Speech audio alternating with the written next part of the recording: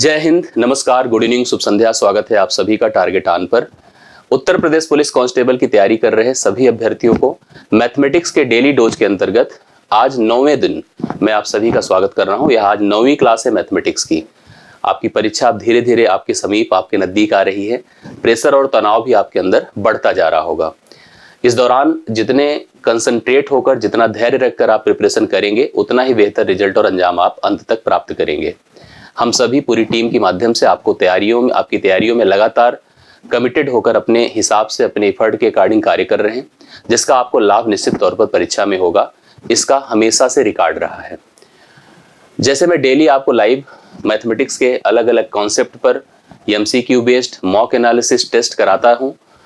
आज वह सेशन नहीं है, लेकिन उन सबसे भी बेहतर और उन सबसे इंपॉर्टेंट यहाँ पर आज एक सेशन है, जो कि प्रीवियस ईयर एग्ज़ाम पर बेस्ड है। इस पूरे सेशन में एक शिफ्ट के आए सभी मैथमेटिक्स के प्रश्न आज आप कवर करेंगे। जब भी कभी हम किसी प्रतियोगी परीक्षा की तैयारी करते हैं तो प्रीवियस ईयर का जो क्वेश्चन सेशन होता है, या क्वेश्चन का जो कलेक्शन होता है, या क्वेश्चन की जो एनालिसिस होती है, वो आपकी तैयारी में एक महत्वपूर्ण कड़ी होती है।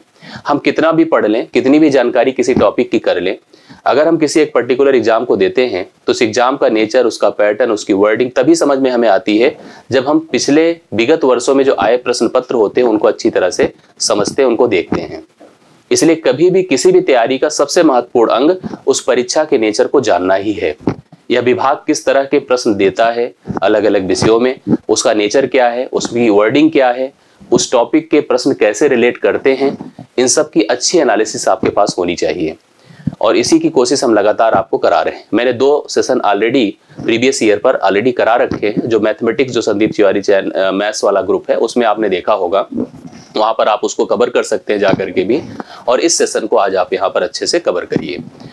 पूरे सेशन तक आप लोग सभी प्रश्नों को अच्छी तरह से देखिए, समझिए, और लास्ट में जब वीडियो एंड हो जाए तो आप मुझे कमेंट के माध्यम से ज़रूर बताइएगा, इन सभी प्रश्नों में कितने प्रश्न आप डायरेक्ट और अपने आप से कर पा रहे थे। आइए मैं देर ना करते हुए सेशन की शुरुआत करता हूँ। सेशन की शुरुआत करूँ और ध्यान से देख लीजिए, पहले इसको अच्छे से कवर कर लीजिए, समझ लीजिए चीज़ें क्या है। यह पहली चीज़ तो पीवाई क्यू है, अर्थात प्रीवियस ईयर क्वेश्चन है। 27 जनवरी 2019 को पेपर हुआ था, उसके शिफ्ट टू का कंप्लीट पेपर में मैथमेटिक्स का आज यहाँ पर आपके सामने कवर कराने जा रहा हूँ। तो एक एक करके चीज़ों को समझते हैं, देखते हैं और पहले प्रश्न से शुरुआत करते हैं। पहला प्रश्न आपके सामने बोर्ड पर आ चुका है। क्वेश्चन क्या है? ध्यान से देखिएगा। क्वेश्चन लिखा हुआ यदि two x plus three two x plus three ratio है, इसको अलग से ऐसे ब्रेक कर लेते हैं। Ratio five x plus four five x plus four तीन चार का, तीन चार का त्रिक तीन गुना अनुपात है। अब इसको देखो, अगर अंग्रेज़ी में पढ़ेंगे तो ज़्यादा क्लियर होगा, क्योंकि ये शब्द अगर आपको क्लियर नहीं है तो आप इसका उत्तर नहीं कर पाएँगे गारंटी मान के चलिएगा। इसको कहते हैं ट्रिपलीकेट रेशियो मैंने आपको लाइव सेशन में भी और बैचेस में भी इस चीज़ को कवर कराया है, समझाया है। कि आपकी परीक्षा में ट्रिप्लीकेट, डुप्लीकेट, रेसिप्रोकल, सब डुप्लीकेट, सब ट्रिप्लीकेट, सभी तरह के पैटर्न पर प्रश्न आपसे पूछा जाता है। ध्यान रहे कि जब भी कोई रेशियो आपको दिया हो, जब भी कोई रेशियो दिया है एक्स और वाई के फॉर्म में, इसका जब हम ट्रिप्लीकेट करेंगे तो एक्स क्यूब और वाई क्यूब हो जाएगा। ध्यान से इसको चीज़ समझ लीजिएगा, जब भी कोई रेशियो आपको, जैसे अगर मान लो एक अनुपात दो दिया है, इसका ट्रिप्लीकेट क्या होगा? एक क्यूब और दो का क्यूब बिल्कुल समझ लीजिएगा, एक अनुपात आठ हो जाएगा। इसने हमसे कहा कि यह जो रेशियो है, अर्थात two x plus three divide by जो फाइव एक्स प्लस फोर है यह जो है तीन बटे चार का ट्रिप्लीकेट है। ट्रिप्लीकेट है तो इसका मतलब क्यूब करिए। तो तीन का क्यूब सत्ताईस होता है, चार का क्यूब क्या होता है? चौसठ होता है। इसको हल करें और एक्स का मान निकालें। इसको हल करें और एक्स का मान निकाले और उसने लास्ट में हमसे पूछा है एक्स का वर्ग बताओ। एक्स का वर्ग बताओ तो एक्स को एक्स से ही डायरेक्टली काम नहीं चलेगा। ना तो किसी वैल्यू को डायरेक्ट आपसे पूछ रहा सीधा सीधा इसने हमसे कहा एक्स का मान नहीं एक्स के वर्ग को आपको फाइन करना है। तो आप इसको कैसे करेंगे? अगर हम लोग यहाँ पर क्रॉस मल्टीप्लीकेशन से इसको हल करते हैं तो इसमें समय लगेगा और इतना बड़ा गुड़ा करना, हालाँकि इतना भी बड़ा नहीं है। चौसठ गुड़े दो करिए, चौसठ गुड़े तीन करिए, हम करने को एक्स का मान इजिली निकाल सकते हैं, ऐसी कोई प्रॉब्लम नहीं है। बट आसानी से करने के लिए आपको इसको ध्यान देना है। जैसे अगर इसका सही सही सिस्टम देखिए, चौसठ दूना एक सौ अट्ठाईस एक्स प्लस तीन चौके बारह, तीन छके अठारह, एक उन्नीस, ठीक है? तीन छंगे तीन चौके बारह, तीन छंगे अठारह, एक उन्नीस। यहाँ पर उधर चला जाएगा सत्ताईस पंचे, पाँच सत्ते पैंतीस, पाँच दूना दस, तीन तेरह, एक सौ पैंतीस एक्स प्लस यहाँ पर सत्ताईस गुड़े चार कर दीजिए, चार सत्ते अट्ठाईस और चार दूना आठ दो दस, एक सौ दस हो गया। अभी क्या करिए? इसको उधर लेके जाए तो सात एक्स हो गया। इसको इधर लेकर चले आए तो कितना हो जाएगा? बारह से आठ आपका चार हो जाएगा। बारह से आठ आपका चार हो गया, आठ आठ ही हो गया। यक्स का मान बारह सत्य चौरासी यक्स की वैल्यू बारह हो गई। अभी बारह का वर्क करेंगे तो एक सौ चौवालीस उत्तर आएगा, ठीक है? इस तरह से हमने किया बट आपको ऐसे एग्ज़ाम में नहीं करना है। बहुत ही नॉर्मली आप इस प्रश्न का उत्तर बता सकते हैं। आप एक चीज़ ध्यान दिए होंगे तो सबके सब वर्ग हैं यक्स के। अर्थात यक्स का मान, इसका वर्गमूल दस हो सकता है ग्यारह हो सकता है बारह हो सकता है या तेरह हो सकता है। अब आपको यक्स की जगह पर ऐसा क्या पुट कर दे, रख दें कि वह वैल्यू सत्ताईस हो जाए। तो दो गुड़े अगर मैं बारह कर देता तो बारह दूना चौबीस, तीन सत्ताईस हो जाता। अर्थात यक्स का मान एग्जैक्टली बारह था। वहाँ से भी कन्फर्म करिए और यहाँ से भी। पाँच गुड़े बारह करते तो बारह, पंचे, साठ, चार, चौसठ होता कि नहीं होता? तो कितना आसान था डिफाइन करना। आपको पूरा करने की रिक्वायरमेंट नहीं थी। सीधा सीधा भी आप बता सकते थे कि वह वैल्यू यक्स की बारह होती। तो यक्स का वर्ग आपका एक सौ चौवालीस होता। तो अगर जिसने सी ऑप्शन को देखा है, समझा, वही इस प्रश्न का राइट सोल्यूशन बता रहा है।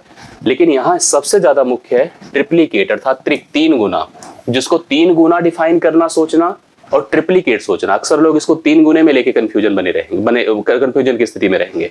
तो तीन गुना नहीं है बेसिकली और ट्रिप्लीकेट है। बट लिखा रहता है, इसलिए इसको ध्यान से देखिएगा, समझिएगा। पहले प्रश्न का उत्तर मैंने आपको क्लियर कर दिया। दूसरा क्वेश्चन देखिएगा। दूसरा प्रश्न आपके सामने आ गया।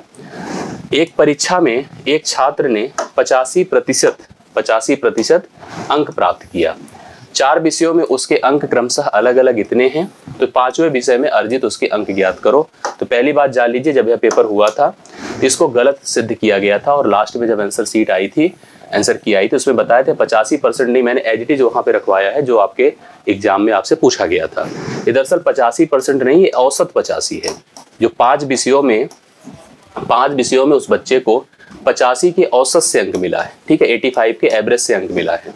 चार विषयों के अंक उसके दिए गए हैं seventy nine eighty one eighty eight और नाइन्टी फोर ये चार विषय के अंक हैं।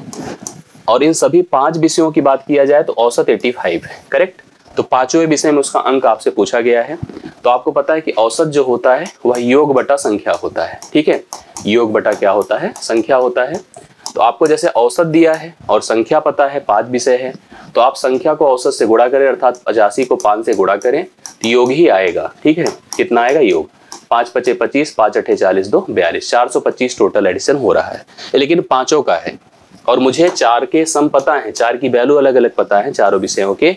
अगर इनको जोड़कर उससे घटा दे तो आपको पाँचवें विषय का अंक एग्जैक्टली पता चल जाएगा। जोड़ लीजिए कितना हो गया? आठ चार बारह, एक तेरह तेरह नौ बाईस, कैरी दो और सात दो नौ आठ सत्रह सत्रह आठ पच्चीस नौ क्या होता है? चौंतीस, तीन सौ बयालीस हो गया। आप चार सौ पच्चीस से, चार सौ पच्चीस से तीन सौ बयालीस को घटा दें। पाँच से दो आपका तीन होता है, बारह से चार आठ होता है। तिरासी, एटी थ्री इस प्रश्न का राइट सोल्यूशन होगा, जो ऑप्शन नंबर ए में दिया गया है। आप लोग सभी लोग इसको देख लीजिए, समझ लीजिए और कंफर्म कर लीजिए। Eighty three the right solution clear है? अगले प्रश्न पर आइए, तीसरा क्वेश्चन देखिए क्या दिया है। दो वस्तुओं को, दो वस्तुओं को उनके लागत मूल्य से ये थोड़ा ठीक ठाक क्वेश्चन है। पच्चीस प्रतिशत ऊपर अंकित किया गया है। दो वस्तुओं के जो लागत मूल्य थे, उससे 25 परसेंट ऊपर अंकित किया गया है। लागत मूल्य कितने थे कंफर्म नहीं है, लेकिन जितना था, उससे 25 परसेंट ऊपर अंकित किया गया है। इस तरह से वस्तुओं में से एक को अंकित मूल्य पर 20 परसेंट के लाभ पर तथा दूसरे को अंकित मूल्य से 10 परसेंट की हानि पर बेचा गया। तो कुल प्रतिशत लाभ ज्ञात करना था कि फाइनली कुल कितने प्रतिशत का लाभ एग्जैक्टली इस व्यापार में उसको हो गया। अगर हम दोनों की लागत को 100 और 100 माने, ठीक है, ये लागत है। हम एग्जैक्टली मान रहे हैं 100 और 100 हालाँकि कुछ भी आप लेंगे तो आप लागत मूल्य से 25 परसेंट बढ़ाकर अंकित किए हैं तो इसमें कोई ऐसी बात नहीं, आपको कोई प्रॉब्लम नहीं आएगी। और 25 परसेंट अगर बढ़ा के अंकित किए हैं तो यह अंकित है। 125 और 125 दरअसल लागत इतनी थी 100 और 100 बट आपने दिखाया 125 और 125 है। अब आपने क्या किया, इसको इसको जो बेचा है 25 परसेंट ऊपर अंकित किया था, पहली वस्तु को उसने क्या किया था 20 परसेंट के लाभ पर बेचा था। कितने पर? 20 परसेंट के लाभ पर। तो 20 परसेंट का लाभ अगर इस पर कर देते हैं तो 20 परसेंट जानते हैं आप लोग कितना होता है। एक बटे पाँच होता है। मतलब 125 गुड़े छह बटे आप पाँच कर दो। करेक्ट? 25 होता है, पच्चीस छक्के डेढ़ सौ। कितने में बिका बोलो? डेढ़ सौ में बिका। इसको 10 परसेंट की हानि पर बेचा गया है। 10 परसेंट की हानि पर। 10 परसेंट की हानि पर। आप चाहते तो डायरेक्टली बता सकते थे, अगर हम इसका 20 परसेंट निकाल देते तो 20 परसेंट वैसे भी इसका मान 50 आता, ठीक है? और इसका 10 परसेंट की हानि साढ़े बारह आती, बासठ दशमलव पाँच वैसे भी हो जाता 200 से हम कंपेयर कर लेते, हमको डिफाइन हो जाता क्लियर हो जाता कि क्या होने वाला है। लेकिन ऐसे भी चलिए 10 परसेंट की हानि तो एक चीज़ और सीख ले रहे हैं आप। 125 गुड़े यहाँ पर एक बटे कितना होगा? 10 10 में से एक घटेगा 9 बटे 10 ठीक है? अगर आप इसका सोल्यूशन करिए तो नौ बचे पैंतालीस, नौ दुना अठारह, चार बाईस, नौ एक के नौ नौ दो क्या होता है? ग्यारह होता है, ना? नौ दो ग्यारह। बटे अगर दस करेंगे तो आपका हो जाएगा एक सौ बारह दशमलव पाँच। या एक सौ बारह दशमलव पाँच में बेचा गया है और यह आपका एक सौ पचास में बेचा गया है। दोनों अगर जोड़ दीजिए तो कितने में बेचा गया है? दो सौ बासठ दशमलव पाँच में। और खरीदा कितने में गया था? दो सौ में। दो सौ में खरीद कर इतने में बेचा गया है, दो सौ बासठ दशमलव पाँच में। तो आपको फ़ायदा कितने का हो रहा है? बासठ दशमलव पाँच का। गुड़े कर दीजिए सौ, बटे कर दीजिए दो सौ, क्योंकि लागत आपका 200 था, ना कि 250 था। कुछ लोग डाउट में वहाँ भी जाएँगे। दो से भाग करें, दो तिया छह, दो एक के दो दो दूना चार, दो पंचे दस। इकतीस दशमलव दो पाँच प्रतिशत का लाभ है। ऑप्शन नंबर डी इस प्रश्न का राइट सोल्यूशन है। ठीक है? आप डायरेक्ट भी देखिए सोच सकते थे। जैसे बीस परसेंट का फ़ायदा हो रहा था तो बीस परसेंट का फ़ायदा यहाँ पर पचास का, दस परसेंट का साढ़े बारह का, बासठ दशमलव पाँच होता और लागत दो सौ थी। तो अगर दो सौ पर बासठ दशमलव पाँच है तो बासठ दशमलव का आधा इकतीस दशमलव दो डायरेक्ट हो सकता था। अगर डिफाइन करते, सोचते तो हमें उतना वक्त नहीं लगता जितना हम लोगों ने करने में लगाया है। हालाँकि आप देखोगे, तब भी आपको समझ में आ गई होगी बातें। ठीक है? अगले प्रश्न पर आइए। क्या दिया है? तीस परसेंट और दस परसेंट की दो अनुक्रमित मतलब सक्सेसिव छूट देने के बाद एक वस्तु नौ सौ रुपए में बेची गई है। वस्तु की लागत मूल्य ज्ञात करो। देखो, दो लगातार छूट दी गई है। एक छूट है तीस परसेंट। दूसरी छूट है दस परसेंट। और इसके बाद उस वस्तु को बेचा गया है नौ सौ पैंतालीस में। ये जो लगातार छूट दी जाती है, जिसे क्रमिक छूट कहते हैं, इसके बाद अगर हम लागत मूल्य या विक्रय मूल्य को अगर हम कंपेयर करना चाहें तो इजिली कर सकते हैं। दरअसल इसको पहले देखिए। इसको तीस बटे सौ अर्थात तीन बटे आप दस लिख सकते हैं। इसे दस बटे सौ अर्थात एक बटे आप दस लिख सकते हैं। अब देखिए कैसे बनकर चीज़ें आएँगी। कहेंगे दस में तीन घटा दें तो सात होगा। और दस में एक घटा दें तो कितना होगा? नौ होगा। ये लागत है दोनों में और यह विक्रय मूल्य है। ठीक है? इन दोनों का मान कितना है? बोलिए सौ है। और इन दोनों का मान कितना है? तिरसठ है। ठीक है? इसकी वैल्यू आपको दिया है कितना? 945 और इसका मान हमको पता करना है।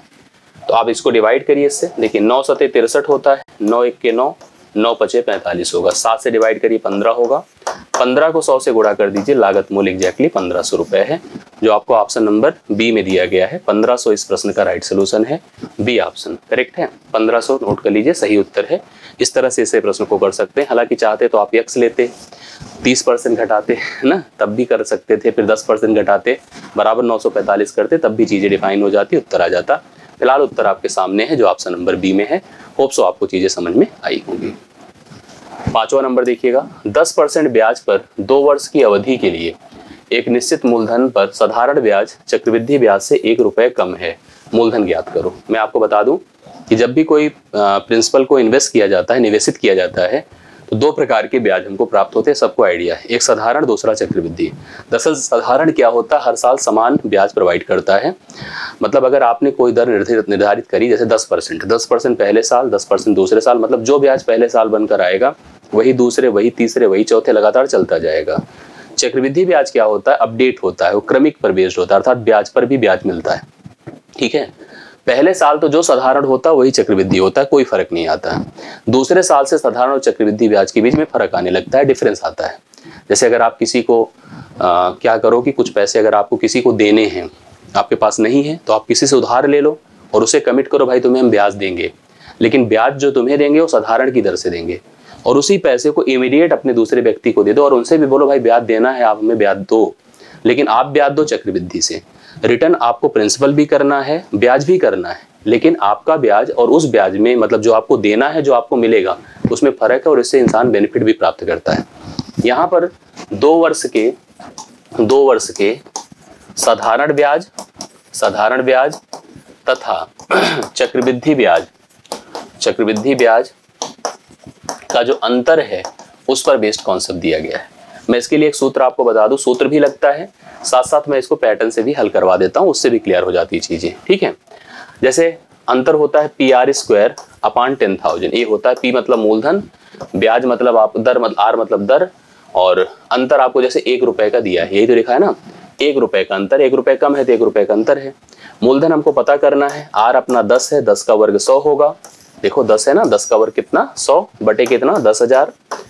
दो ज़ीरो खत्म, ये सौ जाएगा, उधर मल्टीप्लाई होगा तो पी का मान आपका सौ रुपए हो गया, अर्थात मूलधन सौ हो गया।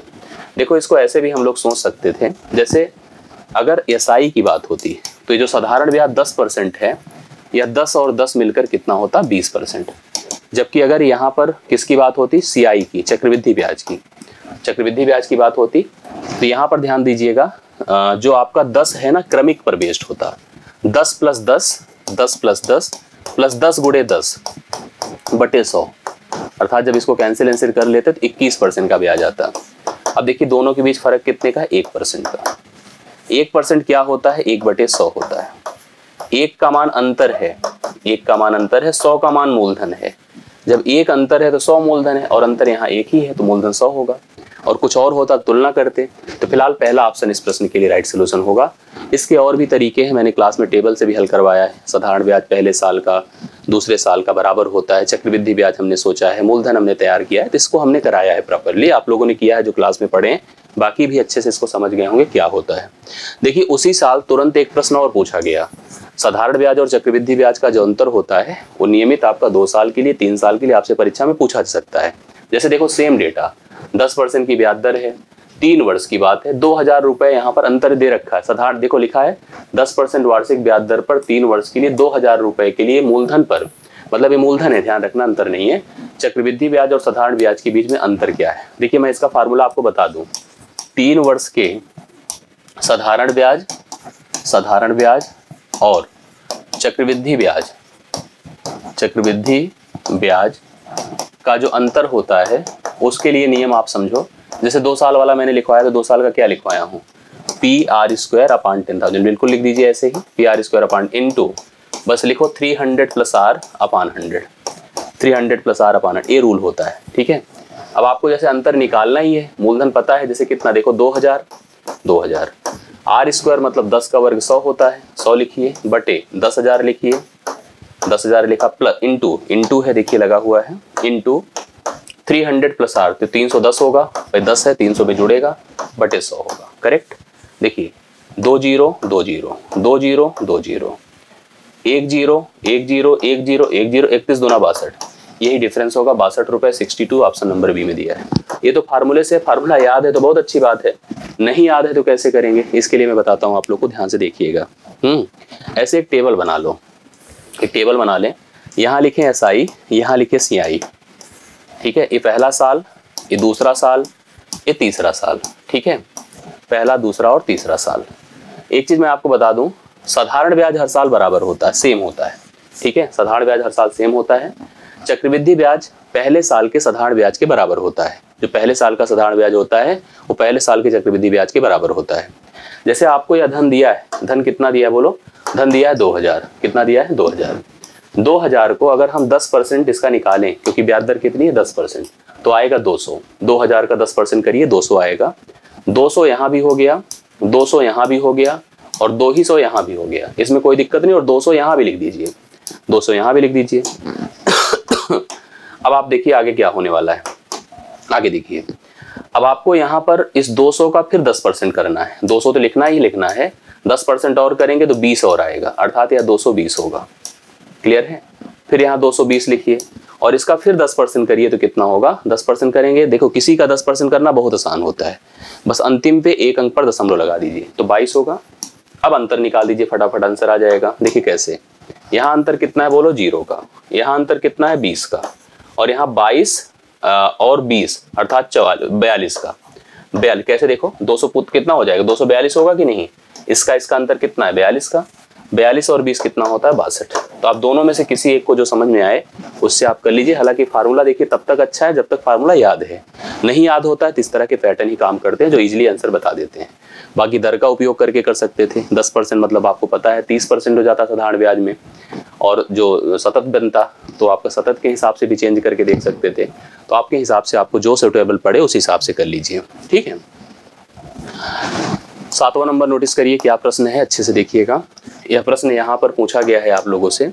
क्या है क्वेश्चन को मैं बताता हूँ। तीन साझेदार हैं एक्स है वाई है जेड है, ने लाभ का साझा किया लाभ कमाया, लाभ को बांटा, व्यापार किया, लाभ को बांटा। कुल लाभ तीन हज़ार का होता है, ठीक है? यक्स का हिस्सा जेड की तुलना में चार सौ रुपए कम है। जो यक्स का हिस्सा जेड की तुलना में चार सौ कम है। वाई का हिस्सा जेड की तुलना में दो सौ कम है। एक्स वाई जेड के लाभ का साझा करने का अनुपात बता दो। देखो, यहाँ पर डिपेंडेंसी समझो किसके ऊपर है?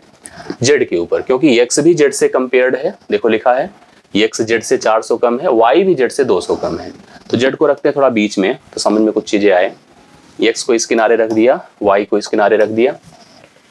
एक्स का मान अगर पी है एक्स का मान पी है तो सॉरी एक्स का नहीं जेड का मान तो एक्स का मान इससे 400 कम है, अर्थात पी माइनस चार कर दो करेक्ट और y का मान z की तुलना में 200 कम है तो p माइनस दो कर दो। ये इनके पैसे हो गए। इनके पैसे हो गए तीनों के। तीनों जोड़ दीजिए और कुल लाभ हुआ कितना है? कुल लाभ हुआ तीन हज़ार। कितना हुआ है? तीन हज़ार। छोड़ो सोचो कितना हो रहा? P P P three P और दो सौ, चार सौ, छह सौ माइनस छह सौ बराबर छह सौ बराबर छत्तीस सौ हो गया, तीन हज़ार हो गया। तो थ्री पी बराबर छत्तीस सौ हो गया। छत्तीस सौ अर्थात पी बराबर आपका बारह सौ होगा। इतना हो गया। किसका मान बारह सौ आया बताए? जेड का। तो जेड आया बारह सौ। जेड आया बारह सौ। वाई देखो कितना होगा। वाई क्योंकि रेशियो किसका पूछा? एक्स वाई जेड सिक्वेंस ध्यान देना पड़ेगा। गलती से अगर यहाँ रख देंगे तो गलत हो जाएगा। जेड का मान 1200 वाई का मान 200 कम कर दीजिए हज़ार। और इसको 400 कम कर दीजिए एक्स को 800 अब काटिए पहले, इनके ज़ीरो सब गए। दो चौके आठ होता है, दो पंचे दस होता है, दो छंगे बारह, चार पाँच छह का अनुपात होगा। चार पाँच छह ऑप्शन नंबर सी में अवेलेबल है four five six the correct ratio ठीक है? सातवां प्रश्न आपका राइट सोल्यूशन है, जो कि फोर फाइव सिक्स है, आप लोग एग्जैक्टली समझ लीजिए। सेवेंथ क्वेश्चन आपके सामने हल हो चुका है। आठवां क्वेश्चन ध्यान से देखिए क्या है। एक परिवार में माता पिता और तीन बच्चे हैं, ठीक है? Mother father and three child तीन बच्चे हैं। समझ रहे हैं? Mother and father and three child मतलब माता है, पिता है और तीन बच्चे हैं। यदि माता पिता की औसत आयु 36 साल है, देखो माता पिता की संख्या कितनी है? दो। औसत कितना है? 36 तो माता पिता की आयु का योग कितना होगा? बहत्तर। ऐसा हम क्यों कर रहे हैं? क्योंकि क्वेश्चन में हमसे परिवार की औसत आयु पूछ रहा है और हमें अलग अलग ग्रुप का औसत दिया हुआ है। बड़े आराम से बता सकते हैं। जैसे आपको सबको पता है कि औसत का मान क्या होता है। औसत का मान योग बटा संख्या होता है। तो कभी अगर आपको योग निकालना हो तो औसत गुड़े संख्या कर दो। परिवार में अगर माता पिता की औसत छत्तीस है और परिवार में माता पिता की संख्या दो है, दो गुड़े छत्तीस कर दे माता पिता की आयु का योग कितना हो गया? बहत्तर। जो बच्चे हैं तीन, उनकी औसत दस है। बच्चे कितने हैं? तीन। औसत कितना है? दस। योग कितना होगा बोलो? तीस। ठीक है? अब अगर हमारे पास कुल सदस्य हैं पाँच, तीन और दो मिला दे, कुल सदस्य कितने हैं? पाँच। और योग बोलो कितना है? योग। सत्तर, तीस, सौ, एक सौ दो। एक सौ दो टोटल योग है माता पिता और सभी बच्चे पाँच से कर दो भाग, इन सभी का औसत पाँच दो ना दस, बीस बीस दशमलव चार। मतलब सभी परिवार में बच्चे माता पिता सब मिला दीजिए तो बीस दशमलव चार औसत हो जाएगा। करेक्ट है ना? तो आपने देखा कि माता पिता की आयु का योग बहत्तर है, बच्चों की आयु का योग तीस है, जोड़ दिया तो 102 है, बटे कर दिया पाँच है। पाँच क्यों? क्योंकि संख्या कुल पाँच है। तो राइट सोल्यूशन आपका बीस दशमलव चार है। अगला प्रश्न देखिएगा। नौवा नंबर। ठीक है? नौवा देखिए, आराम से करते हैं इसको भी। पढ़ते हैं, ध्यान से क्या है? अठारह वस्तुएँ, पंद्रह वस्तुओं की औसत कीमत पर बेची गई। अठारह वस्तुएँ हैं जो पंद्रह वस्तुओं के औसत कीमत पर बेची गई। मतलब हर एक वस्तु के लिए पंद्रह रुपए प्राप्त किया गया, जब बेचा गया। बारह वस्तुओं की लागत प्रति कीमत सोलह रुपए थी। मतलब जो बारह वस्तुएँ खरीदी गई थी, वो सोलह रुपए की दर से खरीदी गई थी। ठीक है? जो बची छह वस्तुएँ थी, क्योंकि टोटल वस्तुओं की संख्या अठारह थी। बारह वस्तुओं को खरीदा गया था, हर एक वस्तु कितने रुपए में?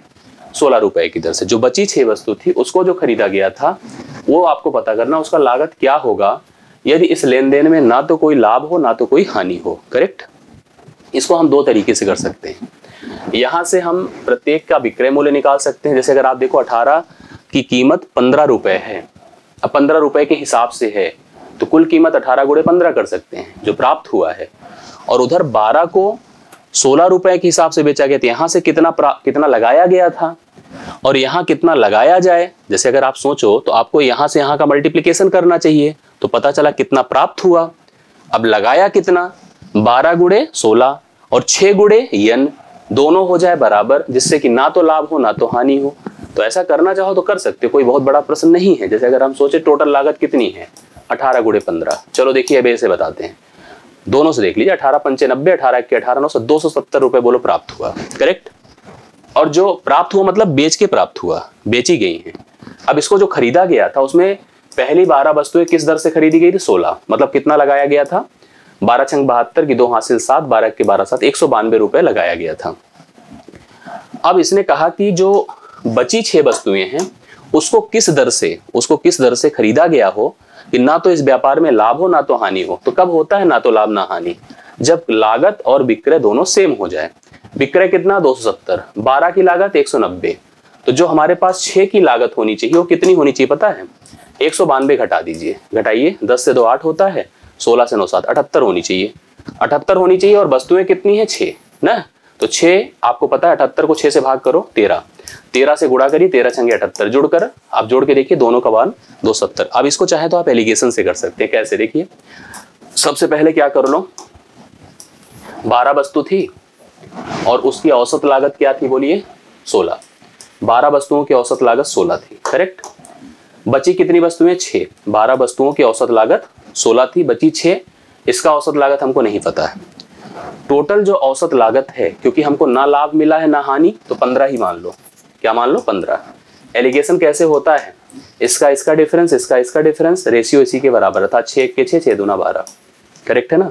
इन दोनों का फ़र्क एक का है, इसका फ़र्क क्या होगा? देखो, ये ज़्यादा है, कम है। तो यह ज़्यादा होगा या कम, अर्थात पंद्रह माइनस एन अब लिखिए पंद्रह माइनस एन बटे एक, बराबर दो बटे एक। खत्म कर दीजिए। अर्थात एन बराबर बोलो तेरह हुआ कि नहीं? तो तेरह इस प्रश्न का राइट सोल्यूशन हो जाता है जो कि ऑप्शन नंबर सी में दिया है।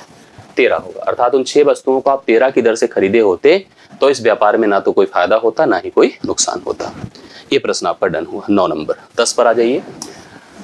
ये आठ दिनों में ये आठ दिनों में क्या करता है? कोई कार्य कर सकता है, ठीक है? बी उसी कार्य को बारह दिन में कर लेता है। सी वह काम कितने दिन में पूरा करे यदि तीनों मिलकर करते तो तीन दिनों में कार्य पूरा हो जाता। देखो, ए कर सकता है कितने दिन में? आठ दिन में। बी कर सकता है बारह दिन में। तीनों मिलकर कितने दिन में करते हैं बताइए? ए बी सी तीनों मिलकर करते हैं तीन ही दिन में। भाई ए अकेले करेगा तो आठ दिन बी के साथ बी अकेले करेगा तो बारह दिन, जबकि अगर सी और ए और बी तीनों मिलकर कर लें तो तीन ही दिन में हो जाए। तो कार्य की मात्रा, एक संख्या, एक क्षमता बना लिया करो, जो तीनों से कट जाए तो चौबीस होगी टोटल वर्क टोटल वर्क इनकी वर्क कैपेसिटी मतलब डूइंग द वर्क कैपेसिटी जो यहाँ पर बनती है, क्षमता जिसको कहते हैं क्या होगी? क्षमताएँ देखिए कैसे निकलती है। आठ तिरिक चौबीस। इसकी क्षमता एक दिन में तीन कार्य करने की है। इसकी क्षमता एक दिन में दो कार्य करने की जबकि तीनों की क्षमता एक दिन में आठ कार्य करने की है। अब सोचो, इसको आप खुद ही देखकर समझ जाओगे कि अगर ए और बी की बात करो तो ये लोग एक दिन में पाँच काम करते हैं। जबकि जैसे ही सी आता है, एक दिन में आठ काम होने लगता है। इसका मतलब है सी ने योगदान दिया है तीन काम का। पाँच और तीन मिलकर आठ हो जाता है। अर्थात सी एक दिन में तीन काम कर सकता है। और अगर हम इस काम को सी के भरोसे दे दें, कौन काम? को चौबीस को तो तीन से डिवाइड कर दीजिए, आठ दिन में पूरा कार्य समाप्त होगा, जो ऑप्शन नंबर ए में दिया गया है। ए इस प्रश्न का राइट सोल्यूशन है। करेक्ट है? तो दसवें प्रश्न का राइट सोल्यूशन ए है ऑप्शन नंबर ए, और आप इसको देख सकते हैं, समझ सकते हैं, उतार सकते हैं, और अगले प्रश्न पर आ जाइए। ग्यारह नंबर। चाल दूरी समय का एक आसान सा प्रश्न है। चाल दूरी समय में ध्यान से देखिए, एक टॉपिक होता है जिसको कहते हैं एवरेज स्पीड औसत गति। बड़ा कंफ्यूजन होता है इस टॉपिक में। कभी कभी हमारे मन में आता है आ, जैसे आपसे कोई पूछे जनरल किसी की औसत आयु क्या है? तो आप कहेंगे सर जितने लोग हैं सबकी आयु जोड़कर संख्या से भाग करो। हमने कहा औसत अंक क्या है? जितने अंक मिले सबको जोड़कर संख्या से भाग करो। किसी खिलाड़ी ने किस औसत से रन बनाए? जितने रन बनाए डिवाइडेड बाई उनको जोड़कर डिवाइडेड बाई मैचेस इनिंग से डिवाइड कर तो पता चल जाता है। ऐसे अगर हमने कहा कि मान लो मैं किसी शहर से किसी शहर जा रहा था पहले कुछ दूरी तक मैंने इस औसत से यात्रा करी फिर इस दूरी से उस दूरी को इस, औसत से यात्रा करी फिर इसको किसी औसत से यात्रा करी तो औसत चाल हमारी क्या हुई? तो कभी कभी मन में आता सभी चालों को जोड़कर संख्या से अर्थात जितनी चालें थे उससे भाग कर दे बट ऐसा करते हैं तो गलत होता है। दरअसल एवरेज स्पीड जो औसत चाल होता है वो होता है टोटल डिस्टेंस कवर अर्थात कुल तय की गई दूरी। Total distance divide by total time मतलब कुल तय की गई दूरी बटा कुल लगा समय ये होता है औसत। कभी कोई यात्रा की औसत चाल कई वेरिएशंस देती है। मैं इसको क्लास में कराता हूँ और आप ये भी हो जो पढ़े होंगे। Total distance divide by total time he average speed होती है। अगर किसी प्रश्न में ये दोनों चीज़ें दी गई तो उससे सरल, आसान प्रश्न हो ही नहीं सकता कोई। और इस प्रश्न में सच में बहुत आसानी दिया गया है। जैसे आप देखो, यात्रा पर गया एक आदमी पहले 120 किलोमीटर 60 किलोमीटर प्रति घंटे की गति से और अगले 120 किलोमीटर 80 किलोमीटर प्रति घंटे की गति से यात्रा करता है। ठीक है? यात्रा करता है। अब आपको कहा गया है, जैसे आप ध्यान से देखिएगा मेरी बातों को, यहाँ पर आपसे कहा गया है कि बताओ कि औसत यात्रा मतलब औसत यात्रा क्या है, औसत चाल क्या है, औसत औसत गति क्या है उस यात्रा की। ये देखो, दूरी है सबसे पहले 120 किलोमीटर। किस गति से तय करा बोलो? 60 किलोमीटर प्रति घंटे की गति से। किसी ट्रिक को मत लगाओ नॉर्मल कर सकते हो, ठीक है? अगले 120 किलोमीटर पर गए और इसको किस गति से? 80 किलोमीटर प्रति घंटे की गति से। तय किया, बोलिए एवरेज स्पीड क्या होगी? हमने कहा average speed total distance covered upon total divide by divide by time taken यहाँ समय कितना लगेगा? दो घंटे हाँ? यहाँ समय कितना लगेगा? तीन बटे दो। चालीस दो अस्सी, चालीस तीन एक सौ बीस, तीन बटे दो घंटे, अर्थात एक दशमलव पाँच घंटे। करेक्ट है? टोटल डिस्टेंस कितनी है? एवरेज स्पीड अगर हम निकालने जाएँ तो एवरेज स्पीड देखो लिखा है मैंने। टोटल डिस्टेंस 120 120 240 टोटल टाइम डेढ़ और दो, साढ़े तीन। साढ़े तीन। करेक्ट है? चलिए करिए, बताइए क्या होगा। दशमलव हटा दे, शून्य बढ़ा दे। सात पाँच सत्य पैंतीस, पाँच चौके बीस, पाँच अठे चालीस। चार सौ अस्सी हो गया। चार सौ अस्सी डिवाइड बाई सात कर दो। सात छंगे बयालीस, छः अड़तालीस। सात अठे छप्पन, अड़सठ दशमलव पाँच सात किलोमीटर प्रति घंटा। ए है एवरेज स्पीड जो ऑप्शन नंबर बी में दिया है। आसान सा प्रश्न है इजी क्वेश्चन है। कॉन्सेप्ट भी क्लियर हो गया होगा और ऐसे प्रश्न आपको मिले तो परीक्षा में आप ज़रूर कर लेंगे, मुझे भरोसा है, ठीक है? ये आसान सा क्वेश्चन होता है। देखो, चाल दूरी समय का दो प्रश्न लगातार ऐसे ऐसे पूछ लेता है आप लोगों से। कभी कभी एक ही टॉपिक के दो प्रश्न दो प्रश्न रिलेट कर देता है। दो कारों की गति का अनुपात, दस अनुपात ग्यारह है। गति मतलब स्पीड दो कार हैं, उनकी स्पीड ऐसे दिया गया है। देखो, एक कार वन है और एक कार टू है। दोनों की स्पीड कैसे लिखा है? इसकी स्पीड दिया है दस तो इसकी स्पीड है ग्यारह। ये स्पीड मतलब चाल। अर्थात प्रति यूनिट समय, अर्थात प्रति घंटे तय की गई दूरी। कार जो पहली कार है, वह 10 घंटे में 500 किलोमीटर की दूरी तय करती है। दूसरी कार की गति पूछा आप लोगों से। जो पहली कार है वो 500 किलोमीटर जाती है और 10 घंटे लगाती है। तो उसकी स्पीड क्या होती है? स्पीड बराबर दूरी बटे चाल। जिसकी चाल है 50 किलो, दूरी बटे समय 50 किलोमीटर प्रति घंटा इसकी क्या है? चाल है। किसकी? पहली कार की। पहली और दूसरी कार की चालों का अनुपात दिया है। अगर इसकी चाल है पचास तो इसकी चाल बताए कितना होगा। भाई, निकाल सकते हैं। सीधा सीधा रेशियो जब दिया हुआ है तो कुछ सोचने की आवश्यकता क्या? इसकी चाल डायरेक्ट नहीं दिया था बट हमको पता चल गया पचास है। तो दस पचे पचास होता है। पाँच को ग्यारह से गुड़ा करे, पचपन हो जाएगा। अर्थात इसकी चाल कितनी हो जाएगी? पचपन किलोमीटर प्रति घंटा, जो ऑप्शन नंबर बी में दिया है। बारहवें प्रश्न का right solution option number B है। तेरहवा देखिएगा क्या है? नौ सेंटीमीटर ध्यान से देखिएगा। नौ सेंटीमीटर त्रिज्या वाला, नौ सेंटीमीटर त्रिज्या वाला एक गोला गोला मतलब गेंद। गोला मतलब गेंद, ये है गोला, ठीक है? ये गोला है, जिसकी रेडियस कितना रखा है? तीन नौ सेंटीमीटर। इसकी रेडियस है नौ सेंटीमीटर, ये देखो, लिखा है। कह रहा है, इसको सिलेंडर अर्थात बेलन में ब्रेक किया जा रहा है।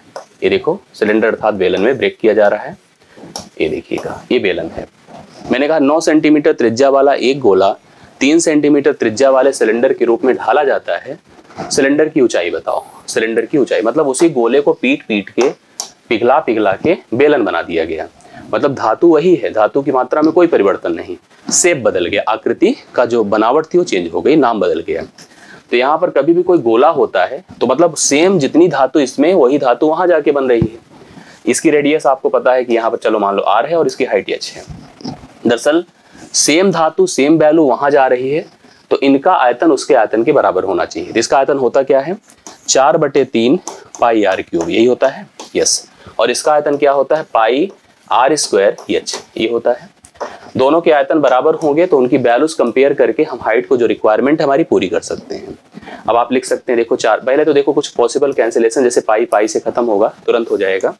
चार बटे तीन, इसकी रेडियस कितनी है? नौ है। तो नौ का होल क्यूब बराबर आर यहाँ पर तीन है ना? आर यहाँ पर कितना है? तीन है। और हाइट हमको नहीं पता। तीन का वर्ग गुड़े कितना होगा? एच तीन तिया नौ होता है, इसकी एक पावर को खत्म कर देगा। अर्थात नौ की पावर दो बचेगा। नौ की पावर दो मतलब इक्यासी, और तीन इक्यासी को डिवाइड करेगा, सत्ताईस आएगा। सत्ताईस गुड़े चार करें। चार सत्य अट्ठाईस चार दुना एक सौ आठ। एक सौ आठ सेंटीमीटर इसकी हाइट होगी। इसकी बेलन की हाइट कितनी होगी? 108 सेंटीमीटर ऑप्शन नंबर बी है। इस प्रश्न के लिए राइट सोल्यूशन करेक्ट है? तो आप लोग इसको देख सकते हैं। इस प्रश्न का करेक्ट हल आपका तेरहवें का कितना हो रहा है बोले? 108 हो रहा है, जो कि आपको बी ऑप्शन में दिया है।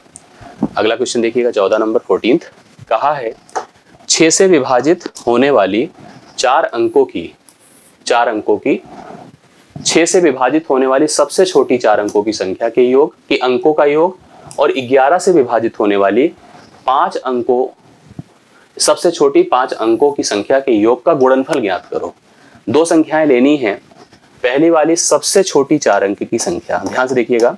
सबसे छोटी चार अंक की संख्या। किसी भी अंक की सबसे छोटी संख्या किसी कितने भी अंक की अगर निकालनी हो तो बहुत आसान। जैसे चार बोला है, एक के बाद इतने ज़ीरो लगा दो कि चार अंक पूरा हो जाए। यह है सबसे छोटी। बट इसको किससे विभाजित होना है? छह से।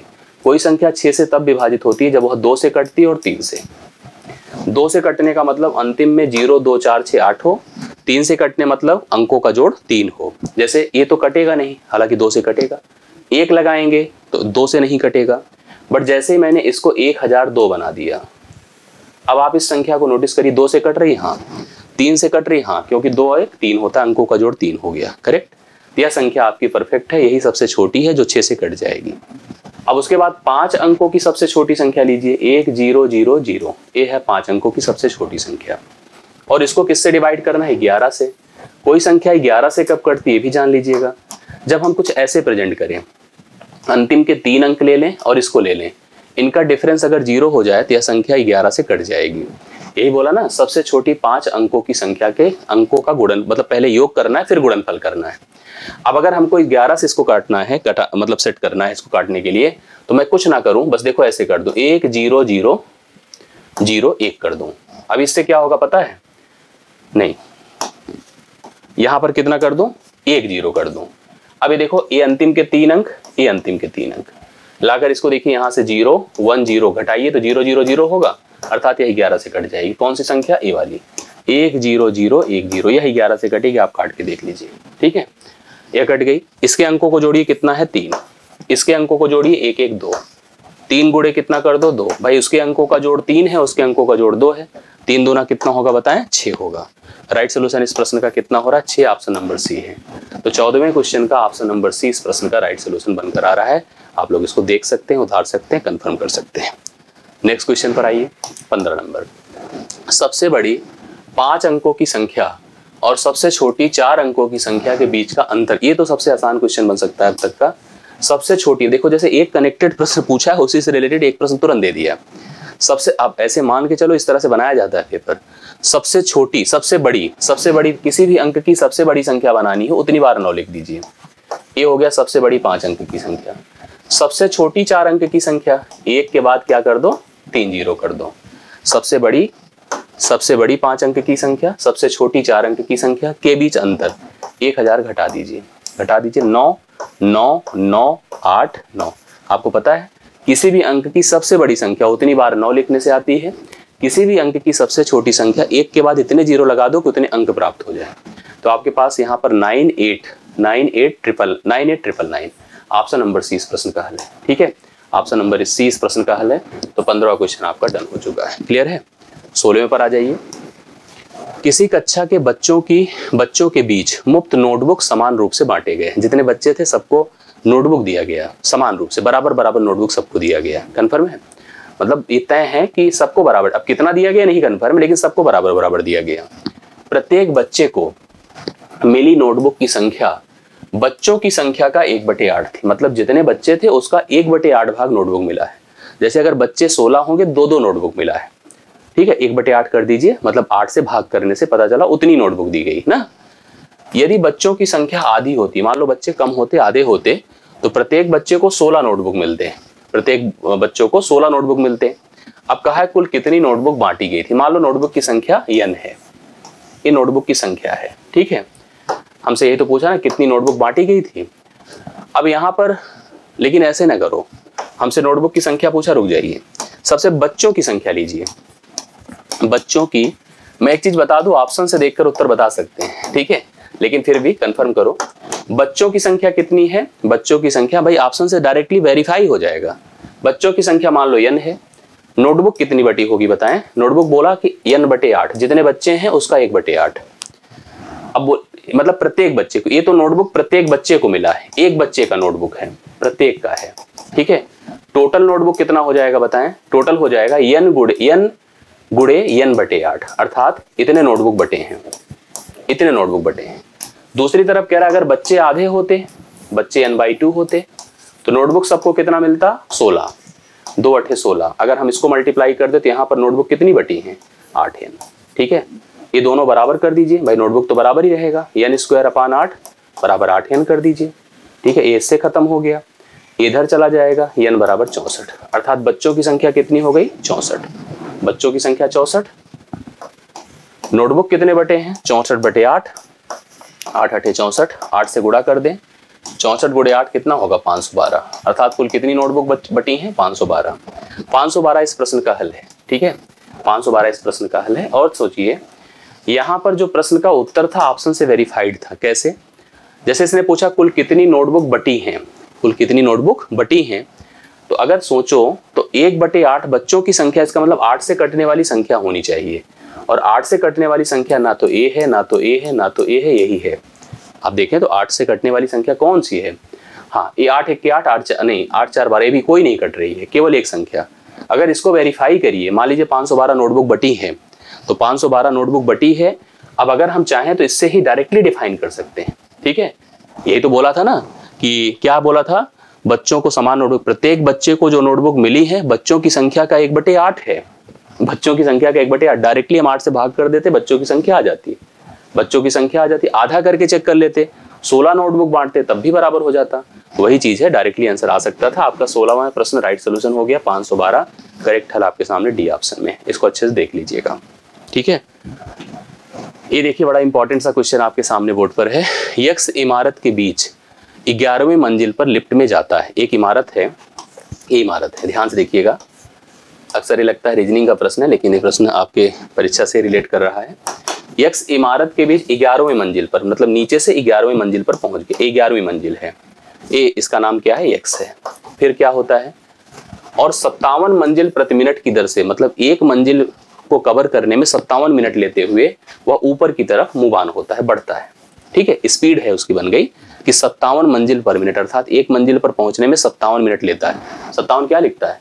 सत्तावन सत्तावन मंजिल प्रति मिनट अर्थात एक मंजिल तक एक मिनट में सत्तावन मंजिल कवर करता है। ठीक है? दर से ऊपर जाता है। उसी समय वाई उस मंजिल के इक्यानवे इक्यानवे तले पर, अर्थात इक्यानवे मंजिल पर लिफ्ट में जाता है और वहाँ से, इसका नाम वाई है और यह नीचे आता है। और किस गति से आता है? तिरसठ की गति से आता है। मतलब जैसे ध्यान से सोचिएगा। यक्स गया था कहाँ पर? ग्यारहवें मंजिल पर। और ऊपर की तरफ़ भगना शुरू किया किस गति से? सत्तावन मंजिल पर मिनट की। सत्तावन मंजिल पर मिनट की गति से। करेक्ट वाई पहुँच चुका है इक्यानवे मंजिल पर और वहाँ से उतरना शुरू कर दिया। किस गति से? बोलिए, तिरसठ। तिरसठ मंजिल पर मिनट की गति से। दरअसल ये प्रश्न ऐसे भी बनता है। जैसे मान लो दो दोस्त हैं। ठीक है? एक का घर और दूसरा घर दूसरे का घर। एक शहर और दूसरे शहर, जिनके बीच मान लो 200 किलोमीटर की दूरी है। इस पार और उस पार है। दोनों एक दूसरे से मिलने का निर्णय लेते हैं और एक ही समय अपने घर से निकलते हैं। और इस समय अगर देखोगे तो इनकी जो चालें हैं किस दिशा में है? विपरीत दिशा में है। जब दो व्यक्ति विपरीत दिशा में एक चाले तय करे मतलब तय करे तो उनके बीच की दूरी निकालने का, कितने समय में एक दूसरे के मिलने का, यही तो पूछा है ना, कितनी मंजिल पर वे लोग मिलेंगे? किस मंजिल पर? यही पूछा ना? तो किस मंजिल पर उनकी लिफ्ट एक दूसरे को पार करेगी? यहाँ पर हो सकता है दो अलग अलग टावर थे। एक अपनी लिफ्ट से जा रहा है ऊपर, एक अपनी लिफ्ट से नीचे आ रहा है। ठीक है? किस मंजिल पर उनकी लिफ्ट एक दूसरे को पार करेगी? जहाँ पर एक्स और वाई अलाइन हो जाएँगे। ये आपको पता करना है। तो पहले उनके मिलने का समय तय करिए। ऐसी स्थिति में जब दो गाड़ियाँ, दो व्यक्ति एक दूसरे को विपरीत दिशा में पार करें तो मिलने का जो समय होता है, ध्यान से देखिए वो क्या होता है। दोनों के बीच की दूरी दूरी कितनी बताओ? यहाँ से यहाँ तक चालीस। बटे उनकी चालों का योग। ये होता है जब विपरीत दिशा की बात होती है। यही जब समान दिशा में होता है, तब भी दोनों के बीच की दूरी, जैसे चोर चोर को पुलिस पकड़ता है दौड़कर समान दिशा में तो उस समय उनके बीच की दूरी बटा चालों का अंतर होता है, पार करने में हेल्प करता है, जो पार करने में आपको सपोर्ट करता है। तो यहाँ पर तिरसठ और सत्तावन जोड़ दे, एक सौ बीस हो गया। अर्थात एक बटे काट दीजिए, एक बटे तीन। क्या होगा? मिनट का भाग। मिनट के एक तिहाई भाग में वे दोनों एक दूसरे को मिलेंगे। अब आप ये सोचो कि अब हमसे ये तो पूछा नहीं गया था समय। हमसे पूछा गया था किस मंजिल पर वे लोग मिलेंगे। तो चाहे अब इसको पकड़िए, चाहे इसको पकड़िए, किसी एक को, किसी एक को। जैसे सत्तावन मंजिल पर मिनट की गति से ऊपर जा रहा था। तो सोचो एक तिहाई मिनट में वह कितनी दूरी तय करेगा। सत्तावन गुड़े एक बटे तीन कर दीजिए, उन्नीस मंजिल कवर कर लेगा। ग्यारह मंजिल पर है, उन्नीस जोड़ दीजिए तो तीसवीं मंजिल रहेगी जब एक दूसरे को मिलेंगे। अगर इसको करना है तिरसठ वाले को तो तिरसठ गुड़े एक बटे तीन कर दीजिए, इक्कीस आ जाएगा। इसमें से इक्कीस घटा दीजिए, तब भी तीस आ जाएगा।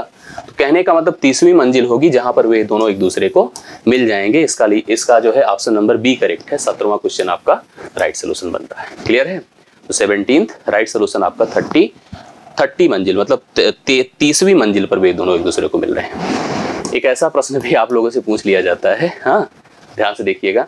यक्स के बैंक खाते में, यक्स के पास बैंक खाते में सौ रुपए बयासी पैसे, अर्थात हंड्रेड पॉइंट एट ज़ीरो रुपए थे।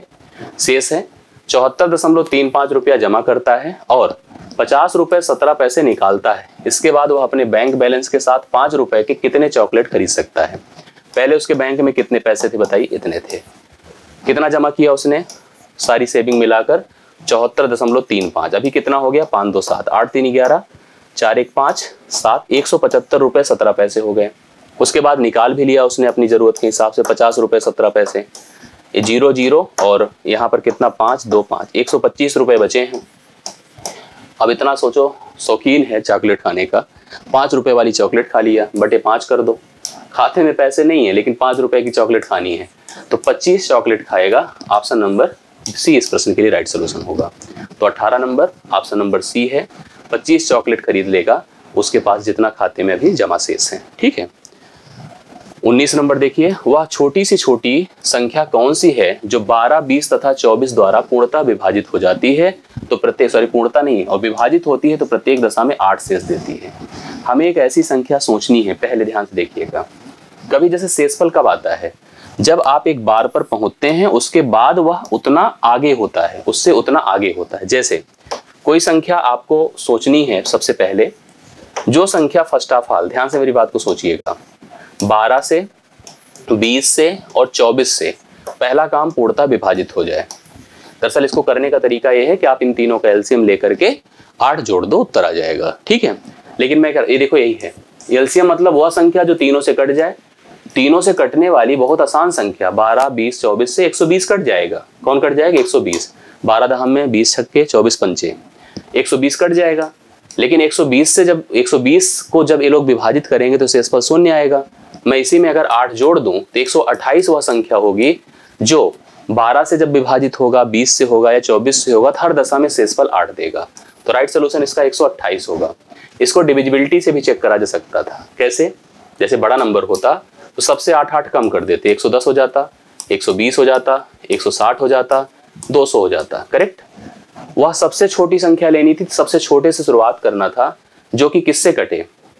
जो कि 12 से कटे, जो कि 20 से कटे, जो 24 से कटे। 12 से कटने का मतलब 4 से कटे 3 से कटे 5 से कटे 4 से कटे 8 से कटे 3 से कटे। तो पहला काम 8 से चेक कर लो 3 से चेक कर लो 5 से कर लो। 5 से करने की ज़रूरत नहीं, क्योंकि सब इंड में ज़ीरो है 5 से सब कट रहे हैं। तीन से कटने के लिए दो एक तीन, ये देखो तीन से कट नहीं कटेगा, इसको खत्म सॉरी एक एक दो नहीं कट रहा है, दो एक तीन, या तीन से कट रहा है। तीन से कटने के अलावा क्या आठ से कटेगा? हाँ कट रहा है। तो यही अपने प्रश्न का हल है। बाकी देखिए, कोई तीन से नहीं कट रहे हैं। तो यही 120 के हिसाब से 128 इस प्रश्न का राइट सोल्यूशन हो जाता है। उन्नीस नंबर। बीस पर आइए, आपसे पाई चार्ट से रिलेट करता क्वेश्चन भी पूछेगा ऐसा। तो आपके सामने देखिए, बीसवा नंबर। रेखा आरेख लाइन डायग्राम आपको दिया गया है, देख रहे हैं आप लोग, ठीक है?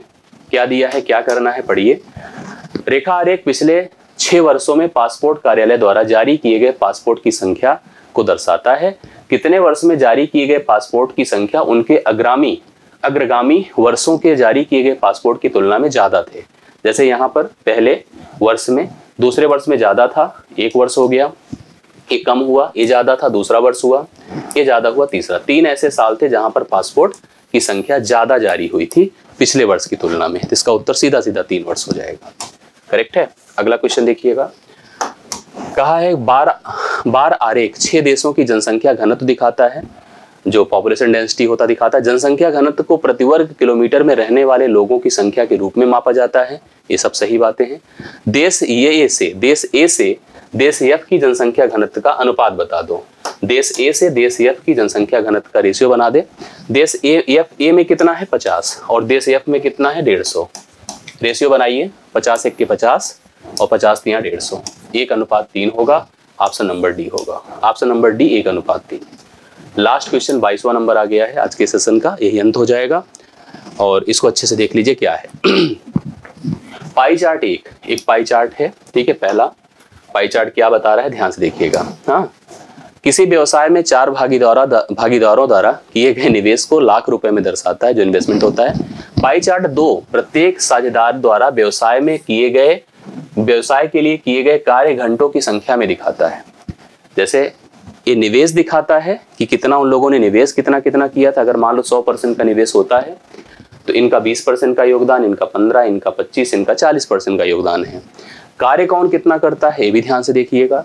इसका कार्य सत्रह परसेंट रहता है, अगर टोटल सौ परसेंट कार्य होता है इसका सत्रह, इसका तैंतीस, इसका पच्चीस इसका पच्चीस परसेंट कार्य होता है। अब इसने कहा कि एक कारोबार ने, इस कारोबार ने 24 लाख रुपए का लाभ अर्जित किया। कुल 24 लाख लाभ आया। कितना आया? 24 लाख। लेकिन होता क्या है, समझिएगा। इस लाभ का आधा भाग मतलब 12 लाख 12 लाख, आधा भाग, आधा हिस्सा निवेशकों के अनुपात में। चार जो निवेशक थे, उनके अनुपात में चार भागीदारों के बीच विपरीत किया जाना है। और बाकी आधा हिस्सा किए गए घंटों के अनुपात में डी को मतलब यहाँ पर निवेशकों की तरफ़ जाएँ और बाकी बाकी मतलब बारह ही लाख जो हमारे पास किए गए कार्य के आधार पर रुपए में बंटवारा करते हैं तो डी का हिस्सा कितना आता है? देखो, दो चीज़ें हैं। जब कभी आप किसी व्यापार में निवेश करते हैं तो जिस रिस्पेक्ट में, जिस रेशियो में आप निवेश करते हैं, उसी अनुपात में लाभ बढ़ता है। जैसे 12 लाख रुपए लाभ हुआ है और डी का अगर हिस्सा सोचें तो डी ने कुल 20 परसेंट कार्य 20 परसेंट का निवेश किया है। तो 20 परसेंट अगर सीधा सीधा 12 लाख का कर दें 20 परसेंट तो 20 बटे सौ होगा। 20 पंचे सौ होता है, पाँच दो ना दस, पाँच दो दशमलव चार लाख मिलेगा इसे। कितना मिलेगा? दो दशमलव चार लाख मिलेगा यहाँ से बारह लाख के हिस्से में। जबकि इसका सोचो, यहाँ पर दरअसल स्थिति दूसरी होती है।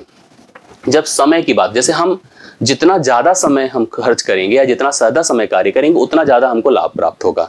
यहाँ पर जब समय की बात होती है तो समय का जो रेसिप्रोकल होता है, वो डिसाइड करता है कि आपका हिस्सा क्या है।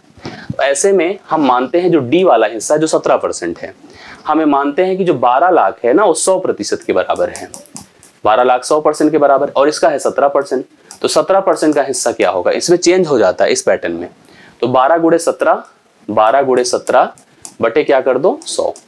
तो बारह सत्रह बारह सत्रह चौरासी होता है चार, बारह के बारह बारह आठ बीस, बटे कर दें सौ, अर्थात दो दशमलव ज़ीरो चार। यहाँ पर दो दशमलव ज़ीरो चार लाख मिला, वहाँ पर दो दशमलव चार मिला है, दोनों को जोड़िए। दो दशमलव चार, दो दशमलव ज़ीरो चार, अर्थात चार दशमलव चार चार लाख रुपए का लाभ डी को प्राप्त होगा, जो कि पहले ही ऑप्शन में आपको दिया है, पहला ऑप्शन इस प्रश्न का हल है। इस तरह से ये सभी वाइस प्रश्न जो कि आपने देखा था कि जो पेपर हुआ था आप लोगों का ये वाला, ठीक है? ये पेपर आपका 27 जनवरी 2019 को सिप टू में हुआ था। उसका पूरा सोल्यूशन मैंने अच्छे से करा दिया है। अब आप लोग इसको अच्छे से तैयार कर लीजिए रिवाइज कर लीजिएगा। और वीडियो अच्छी लगे तो लाइक और शेयर भी कीजिएगा। और अपने, मैंने जैसे आपसे कहा था, अपनी मार्क्स ज़रूर बताइए। अगर आपने करा था तो कितने प्रश्न आप इजिली कर ले रहे थे। कहाँ कहाँ डाउट हो रही थी, आप ज़रूर बताइएगा। कोई प्रश्न जो मैंने समझाया, वो आपको ना समझ में आया वो भी आप ज़रूर बताइएगा। आपके कमेंट्स का फीडबैक का इंतज़ार रहेगा। बाकी मुलाकात फिर से होगी हमारी अगले सेशन में। आज के लिए मेरी तरफ़ से इतना ही। बहुत बहुत धन्यवाद। थैंक यू सो मच मुलाकात अगली क्लास में होगी। Thank you so much